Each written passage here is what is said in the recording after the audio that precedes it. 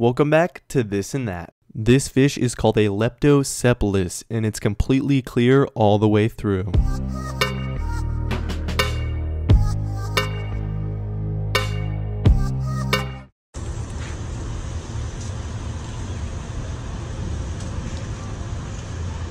This guy lives inside of his sandcastle.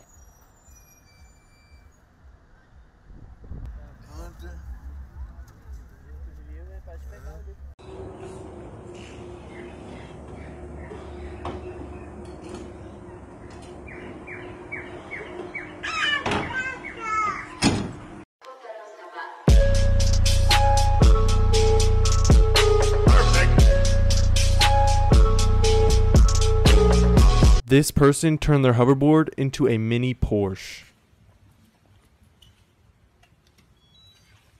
The Bluetooth device is ready to pair.